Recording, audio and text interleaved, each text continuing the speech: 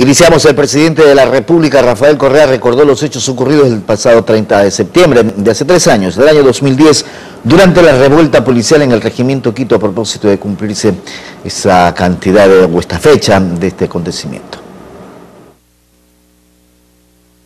Este lunes se cumplió tres años de los hechos ocurridos el 30 de septiembre del año 2010 en el regimiento Quito, y en ese marco el presidente Rafael Correa lo recordó así en un medio de comunicación radial de la capital. ¿Cómo se llama que el presidente sea agredido, que se insubordinen fuerzas armadas, policías, militares, que se tomen el aeropuerto, que se tome la asamblea, que la escolta legislativa se ponga orden de Gima Gutiérrez, que se tomen los medios públicos que quieran atacar también Ecuador inmediato, que los irresponsables del MPD quieran sacar a los de la Aguirre Abad a, las calles, que se tomen las gobernaciones de Cotopaxi de Chimborazo en hacerse subleve, la policía, que la Comisión de Tránsito del Ecuador se tome los vestidos social cristianos que hay ahí, el puente de la Unidad Nacional.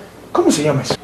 Aseguró que las 13 y 17 horas de ese día fueron los momentos más tensos que vivió la democracia del país, que incluso convocó a mandatarios de la UNASUR que avisoraban golpe de Estado planificado por los sectores políticos de oposición, quienes incitaban a la policía que cuestionaba la aprobación de la Ley Orgánica de Servicio Público. Eso fue histórico. Ocho presidentes de Sudamérica se reúnen ese mismo día en Buenos Aires.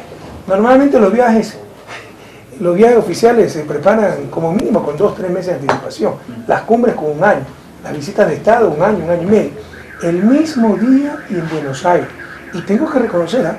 que los principales promotores de esa reunión fue Sebastián Piñeiro, porque yo puedo tener diferencia ideológica con Sebastián, con Ana García, pero eh, eso no significa que no seamos amigos, que no compartamos principios como el de la democracia. Pero aquí también aprovechó para asegurar que las investigaciones luego de tres años ocurridos esos acontecimientos, la Fiscalía no tiene aún una respuesta. O sea, yo aprecio mucho a Galo Chirúa, creo que es un gran fiscal, pero con todo cariño sí creo que las cosas van muy lentas. Y no lo digo yo, hoy día recibí a los familiares del 30S, se quedan mucho, incluso de maltratos, que no es bien legal, sino de mandos medios, van a la fiscalía, por ejemplo la familia Froilán Jiménez, le han dicho, no, no, no les han entrar a la Fiscalía General. Y ustedes tienen que tener su abogado con una demanda privada.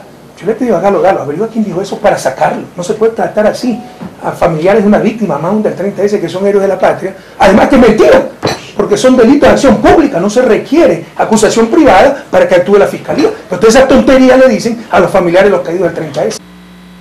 En Quito, Miguel Ángel Chiqueiza, de Noticias.